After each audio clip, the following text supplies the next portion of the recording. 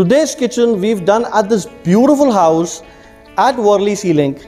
If you see, you can see a beautiful view of the ceiling from the balcony. It's a breathtaking view and I'm sure you're going to love the kitchen as well. So it's a 14 by 12 kitchen in supermatte laminate, merino laminate and tinted back painted glass. Designed courtesy architect Uma Sangani from UBS Interiors.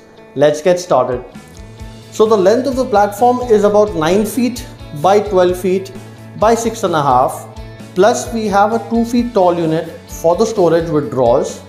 Now the interesting thing to see here is the architect has taken a chimney which is a ceiling mounted.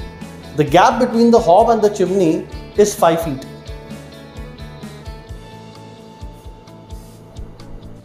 Yeah, hi, this is Uma Sangani, and these are my clients, uh, Mr. Tej Bansali and Mrs. Jaini Bansali.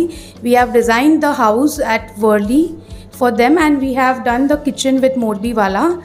I would like to say that we are really happy with the quality of the kitchen, and uh, it's the theme and all that. Since we wanted a warm color, we have used some warm wooden color with white and black uh, profile putties. Yeah, I'll give it to my client.